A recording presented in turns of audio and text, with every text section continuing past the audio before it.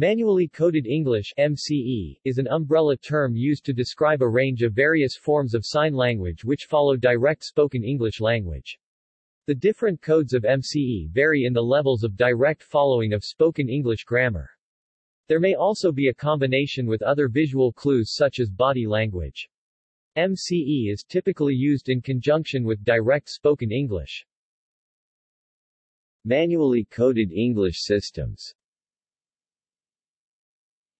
MCE or speaking and signing at the same time has been labeled many terms, including total communication, simultaneous communication, SIMCOM, signed English, manually coded English, sign-supported speech, and sign-supported English, none of which specify the degree to which the user is attempting to sign specific English vocabulary or correct grammar.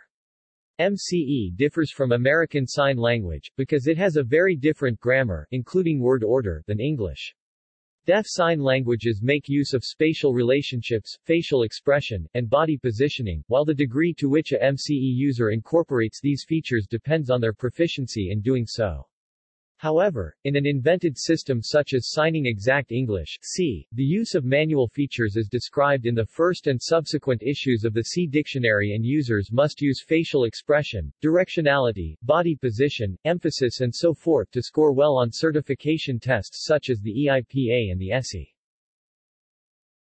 Although there is no research to support the notion, many in the field of deaf education believe that comprehensibility of such simultaneously produced MCE has been compromised in practice. Experience can improve the degree to which the information coded in English, morphologically as well as syntactically, is successfully communicated manually, and research in this regard can be found by searching Wikipedia for signing exact English. There is no research to suggest that those who are motivated to sign the complete grammar of English cannot do so if they learn the vocabulary, desire to sign proficient, grammatically correct English, and are observed and coached to do so. In English-speaking countries, it is common for users of deaf sign languages to code 10 switch into a form of MCE when conversing with someone whose dominant language is English, or when quoting something from English. MCE is also sometimes favored by hearing people, for whom a manual version of their own language is much easier to learn than a deaf sign language. In education The different forms of manually coded English were originally developed for use in the education of deaf children, as their literacy in written English has been typically low compared to their hearing peers. This educational method was popularized by Abbé Charles Michel de l'Épée who in the 1790s developed a method using hand signs to teach a form of the French language to deaf children. Education is still the most common setting where manually coded English is used, not only with deaf students, but also children with other kinds of speech or language difficulties. The use of MCE in deaf education is controversial. Contemporary deaf education can favor one of three streams, sign language, MCE, and oralism, or a combination of two or all three.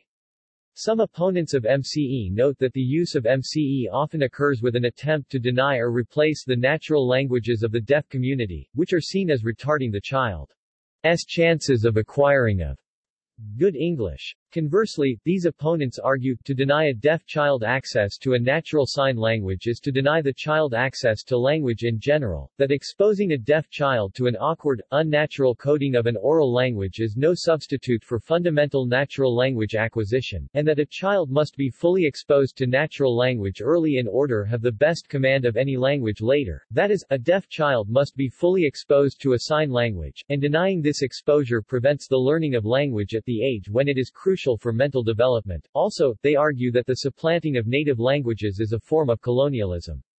In the manualism versus oralism debate, some forms of MCE are opposed by oralists who believe that even manual English lessens the motivation for children to learn to speak and speech read.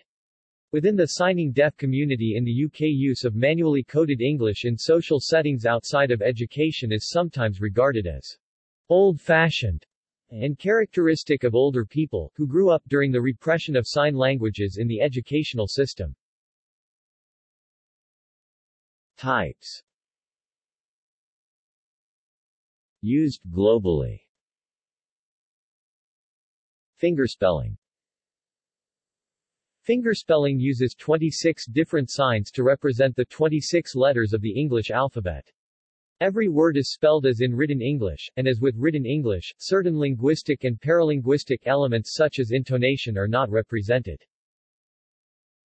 It is a very simple form of MCE for English speakers to learn, and is often the first point of contact for a hearing person before learning a sign language. Fingerspelling is also used by deaf people as a part of sign languages, for some proper nouns, or when quoting words or short phrases from English. Exclusive fingerspelling is rarely used for extended communication, as it is a very slow method of representing English. It still has currency in some deafblind settings see tactile signing. Exclusive fingerspelling has a place in the history of deaf education. In the U.S. it is known as the Rochester Method, see below. Elderly deaf people in the UK and Australia may also use a lot of fingerspelling as a result of their education. Note that different regions use different manual alphabets to represent English. A two-handed system is used in the UK, Australia and New Zealand, and one-handed systems are used in North America CASL alphabet, Ireland, C Irish Sign Language, Singapore and the Philippines. Both one- and two-handed alphabets are used in South Africa. These English-speaking countries do not all have the same sign language either. See Sign Language section not speech-based. Signed English Different systems called Signed English have been developed in Australia, New Zealand, Ireland, the UK, the US, Kenya, and South Africa. However each Signed English has borrowed signs from the local deaf sign language and invented new signs to represent the words and grammar of English. They tend to follow a loose logic of sound rather than the strict phonetic structure of cued speech. For example, in Australian Signed English, uncomfortable is represented in signs meaning un, come, for, and table. A visual sign taken from a deaf sign language may be generalized to represent homonyms of the English word, for example, the Auslan sign for a fly insect may be used in signed English for the verb to fly. Signed English tends to be slower than spoken English, and teachers using it have usually found themselves cutting corners and reverting to contact sign. Contact sign not strictly a form of manually coded English, contact sign in fact is a blend of a local deaf sign language and English.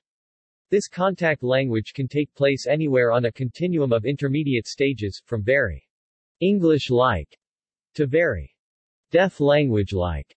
Signers from these two different language backgrounds will often meet somewhere in the middle. Because of contact signs standing as a bridge between two distinct languages, it is used differently by each individual depending on their knowledge of English and of the deaf sign language. The term contact sign has largely replaced the earlier name, Pidgin Sign English, PSE, because this form of signing does not display the features linguists expect of a pidgin.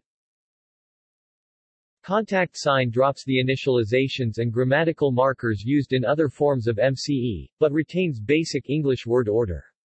In the U.S., ASL features often seen in contact sign include the listing of grouped items and the repetition of some pronouns and verbs. Sign-supported speech, or simultaneous communication Sign-supported speech SSS involves voicing everything as in spoken English, while simultaneously signing a form of MCE. The vocabulary, syntax and pragmatics of English are used, with the MCE signing serving as a support for the reception of speech. Signs are borrowed from the local deaf sign language and or are artificial signs invented by educators of the deaf. The terms SSS and SIMCOM are now often used synonymously with Total Communication TC, though the original philosophy of TC is quite different. Cued speech Cued speech is unique among forms of MCE in that it does not use borrowed or invented signs in an attempt to convey English. Instead, the American version of cued speech uses eight hand shapes, none of which are derived from sign languages, to represent consonant phonemes, and four hand placements around the face to represent vowel phonemes. R. Orin Cornett, who developed cued speech in 1966 at Gallaudet University, sought to combat poor reading skills among deaf college students by providing deaf children with a solid linguistic background. Cued speech must be combined with mouthing associated with the speaking of a language, as the hand shape, hand placement, and information on the mouth combine as unique feature bundles to represent phonemic values.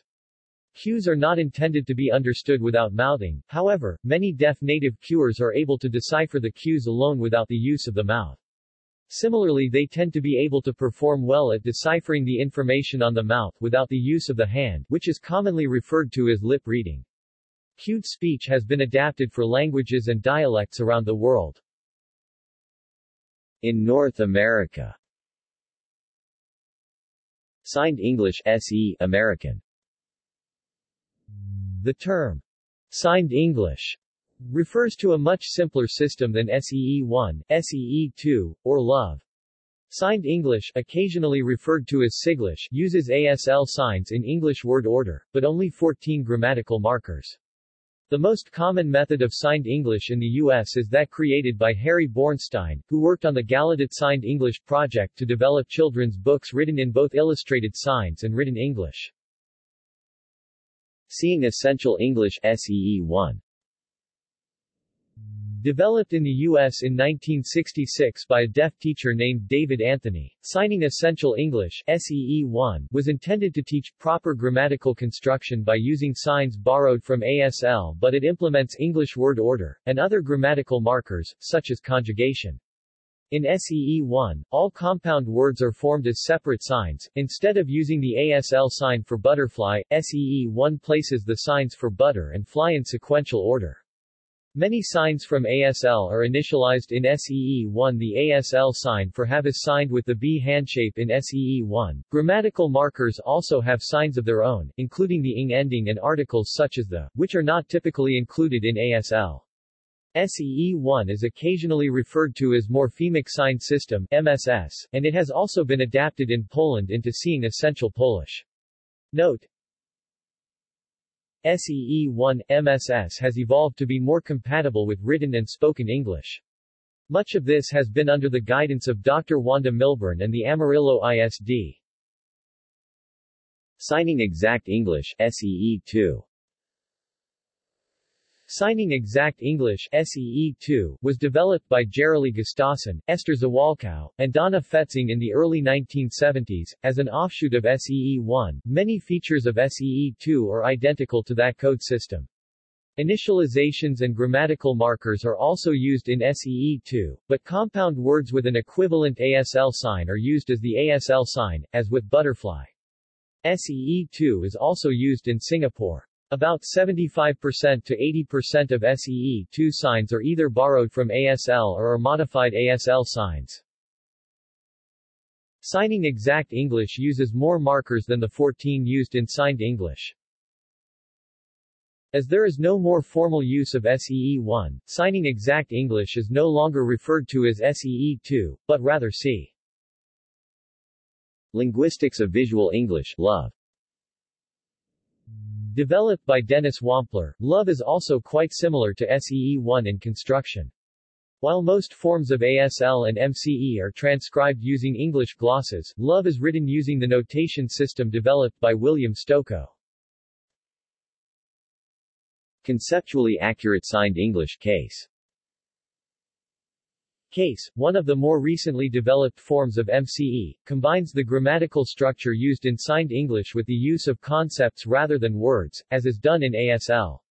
It is becoming one of the more common forms of MCE, and has been used in both interpreter training programs and mainstream deaf education. The term sign supported is sometimes used to refer to the same thing. Rochester method Perhaps the closest type of MCE to written English, the Rochester method involves fingerspelling every word. It was originated by Zenas Westervelt in 1878, shortly after he opened the Western New York Institute for Deaf Mutes, presently known as the Rochester School for the Deaf. Use of the Rochester method continued until approximately the 1940s, and there are still deaf adults from the Rochester area who were taught with the Rochester method. It has fallen out of favor because it is a tedious and time-consuming process to spell everything manually, though it is still used in some deafblind settings see tactile signing. In the UK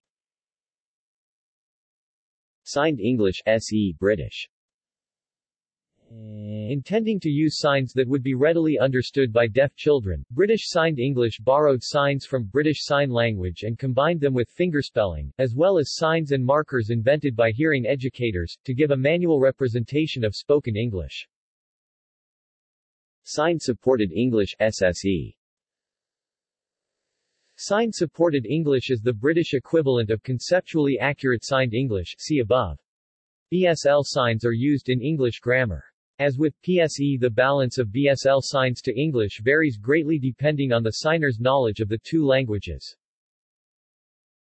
A single sign is often differentiated into a number of English words by clearly mouthing the word. Thus in order to comprehend SSE well, one needs good lip reading, speech reading, skills, as well as a good knowledge of English grammar. Limited interpreting services are available in the UK for SSE. National Signed English is a recently promoted communication system that uses a combination of BSL, SSE and NSE. Its authors, OCSL, claim it creates perfect syntax, present and past tenses and allows the user to communicate in word-perfect English. Promotional literature for this proposed new system has generated considerable controversy in the UK deaf community and alarm among sign language professionals because of remarks about British Sign Language by the charity's operations director styling it a basic communication system. Paget-Gorman Sign System the Paget-Gorman Sign System, also known as Paget-Gorman Signed Speech PGSS, or Paget-Gorman Systematic Sign Language, was originated in Britain by Sir Richard Paget in the 1930s and developed further by Lady Grace Paget and Dr. Pierre Gorman to be used with children with speech or communication difficulties, such as deaf children. It is a grammatical sign system which reflects normal patterns of English. The system uses 37 basic signs and 21 standard hand postures, which can be combined to represent a large vocabulary of English words, including word endings and verb tenses. The signs do not correspond to natural signs of the deaf community. The system was widespread in deaf schools in the UK from the 1960s to the 1980s, but since the emergence of British Sign Language and the BSL-based Signed English in deaf education, its use is now largely restricted to the field of speech and language disorder. Used elsewhere Australasian Signed English in Australia, Signed English was developed by a committee in the late 1970s, who took signs from Auslan especially the Southern dialect, invented new signs, and borrowed a number of signs from American Sign Language that have now made their way into everyday use in Auslan. It is still used in many schools. Australasian Signed English is also in use in New Zealand. Irish Signed English Singapore SEE2 Signing Exact English SEE2 is widely used in deaf schools in Singapore, and is taught as the preferred form of sign language by the Singapore Association for the Deaf. South African Signed English Kenya Signed English The Kenyan government uses Kenya Signed English, though the University of Nairobi backs Kenyan Sign Language. See also Initialized Sign Manually Coded Language Makaton References and Resources Paget-Gorman Signed Speech Full Manual 1990. Northumberland, Stas Publications. Jeans R.C., Reynolds, B.E. and Coleman, B.C. 1989, eds. Dictionary of Australasian Signs, 2nd edition, Victorian College for the Deaf, 597 St Kilda Road, Melbourne, Victoria, 3004. Branson, Jan and Miller, Don 1998, Nationalism and the Linguistic Rights of Deaf Communities, Linguistic Imperialism and the Recognition and Development of Sign Languages, Journal of Sociolinguistics 2, 1, 3-34. Jeans, R., Reynolds, B and Coleman, B. eds. 1989, Dictionary of Australasian Signs, 2nd edition, VSDC Melbourne External links Styles of Communication Methods of Communication with the Deaf Cued Speech Discovery C Centre for the Advancement of Deaf Children